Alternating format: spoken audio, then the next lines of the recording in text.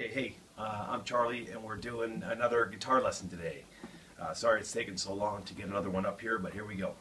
Uh, we are going to talk about the major scale, and you hear a lot of people uh, doing what we call chicken picking or um, uh, double stops, uh, and so we will um, teach. I will teach you a little bit today about you know how to play in the major scale and have it be a little bit more fun than just playing your your relative minor scale. So those of you who don't know the relative minor scale, um, if I'm playing in A minor, if I play that, which would be, you know, on the fifth fret, one, three, one, two, one, two, one, two, one, three, one, three, one. Okay, I'm going to move this back three frets to the F sharp and play the same thing, and that's going to give, except I have to resolve on the A notes. That's going to be the same, so back three, is going to be uh, your A major scale in terms of your, it's basically called a relative minor. So you're going to go, and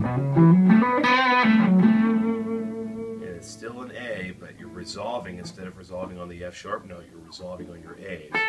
So,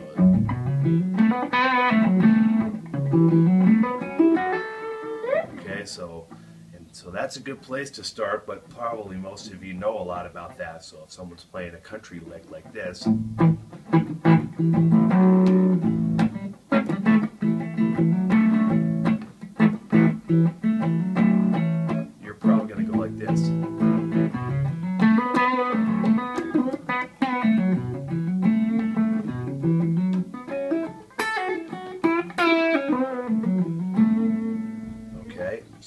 what I might do in the middle of that is what we call double stops, which will be.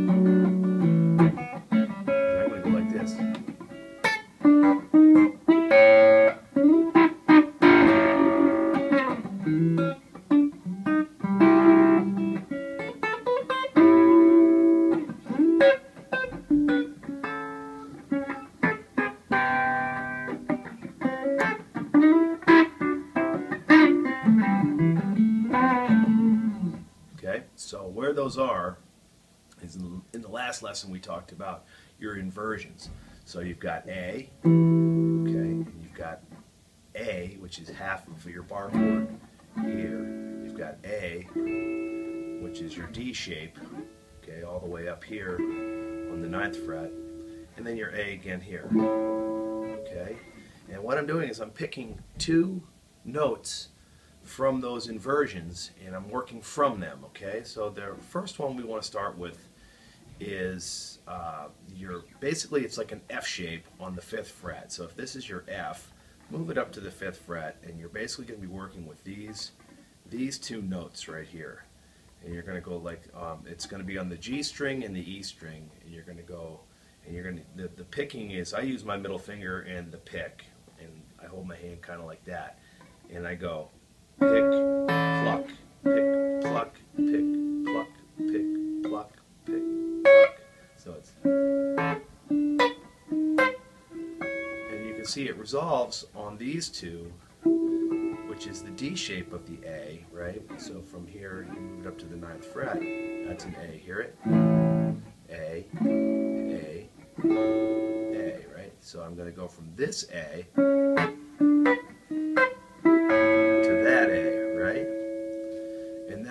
this is an A, right? And then this, believe it or not, is an A seventh. You can hear it. Here's an A. There's an A seventh, so I'm just proving it to you. A, A7. Now I'm going to take these ones in a nice little run. It's also a nice little blues turnaround. So you can start is from this one you would go on these two you'd go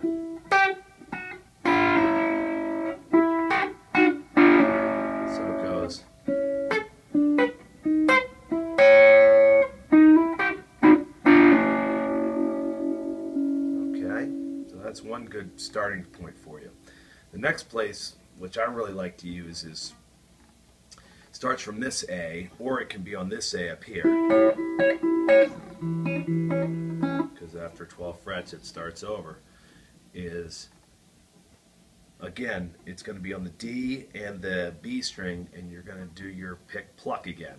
I'm not a real technical player, but you know, um, I can fake it. And so this is how I've learned how to do it. I usually pick with my middle, pluck with my middle finger. So I pick, pluck with my middle. So it's, and then I move to this shape here, and then I move it a half step up. So it's um, uh, middle finger on the fourth fret D string and the pointer finger on the D note on the B string, which would be third fret. So it goes from here, and then half step, then leave because you're half step up. So now your your um, middle finger won't move from the fifth fret on the D string, and you're gonna your last one will just uh, move this note up a half step to here, uh, which would be on the D on the B string. So you're going to go from your pointer finger to your ring finger. So it's going to look like this.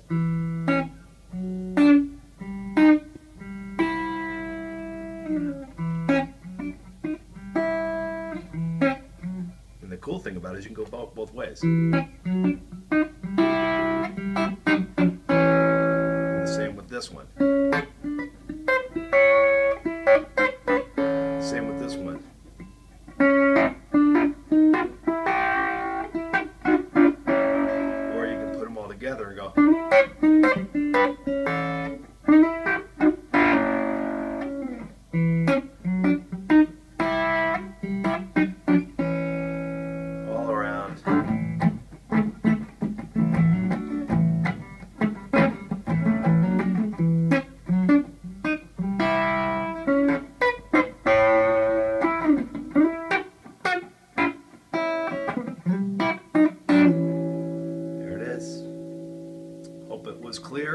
Practice that stuff, you'll become a better guitar player. See you later.